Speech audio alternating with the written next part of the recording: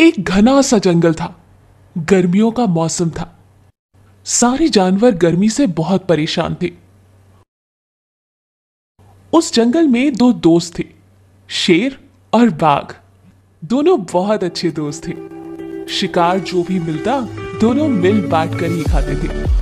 जंगल के सारे जानवर उनसे बहुत डरते थे और उनकी दोस्ती को देखकर हैरान भी रहते थे।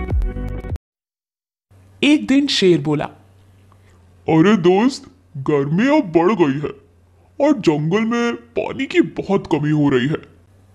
हाँ मेरे यार पता नहीं कब बारिश होगी। और इस गर्मी की वजह से जानवर ज़्यादातर जंगल में नहीं घूम रहे हैं सब अपनी अपनी गुफा में बैठे हैं। हाँ इसकी वजह से शिकार भी बड़ा मुश्किल हो रहा है। चलो दोस्त आज कुछ शिकार करते हैं। बहुत दिनों से आज कुछ अच्छा खाते हैं। हाँ दोस्त चलो। धूप बहुत ज़्यादा थी। दोनों दोस्त शिकार की तलाश में निकल पड़े। बहुत दूर चलने के बाद एक भैंस मिलती है। उसका शिकार करते हैं और पेट भरकर खा लेते हैं।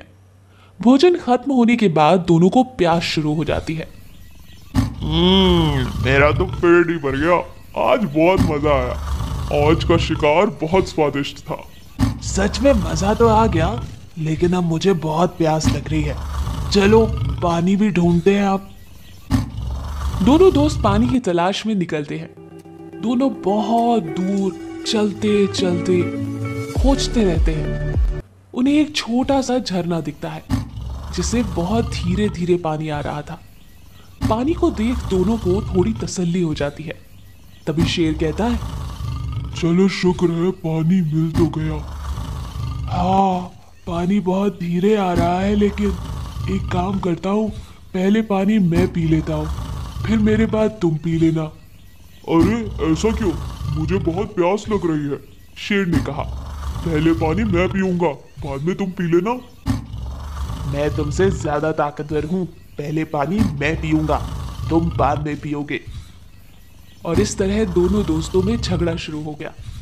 और पानी की वजह से उनकी सालों पुरानी गहरी दोस्ती टूट जाती है। तो इस कहानी से हमें क्या सीख मिलती है? कि हमें पानी सोच समझ कर खर्च करना चाहिए।